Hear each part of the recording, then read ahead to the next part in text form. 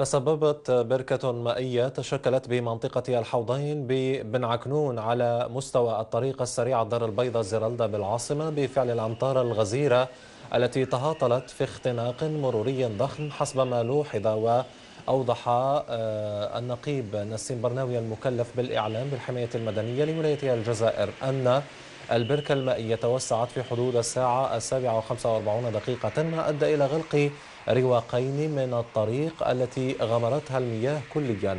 وأضاف أن الحماية المدنية سخرت أربع مضخات كبيرة لامتصاص المياه المتراكمة إلى جانب شاحنتين وسيارة إسعاف و30 عونا. وقال أن رجال الحماية المدنية تمكنوا من إزاحة سيارة نفعية غمرتها المياه على مستوى الحوضين دون تسجيل أي ضحايا.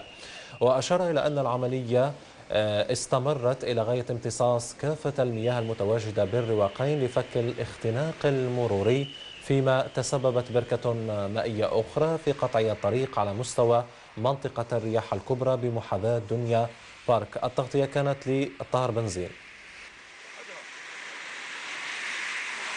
كميات كبيرة سجلت على مستوى العاصمة أدت إلى حدوث فيضان بسيط على مستوى الطريق الرابط الطريق السريع الجنوبي الرابط بين بن عكنون وزيرالدا قوات الشرطة آه، تابعة لجهاز الأمن الوطني كانت سباقة في علم المكان. تم غلق الطريق مصالح آه، الأشغال العمومية لامن ولاية آه، لولاية الجزائر.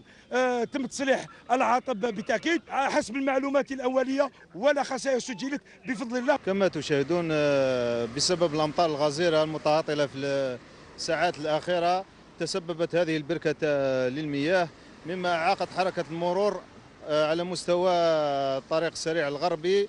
الرابط ما بين الدائرة البيضاء والزيرالدا على بالضبط على مستوى آه، بارك دنيا. آه، بالنسبة لقنوات الصرف آه، بسبب الأوحال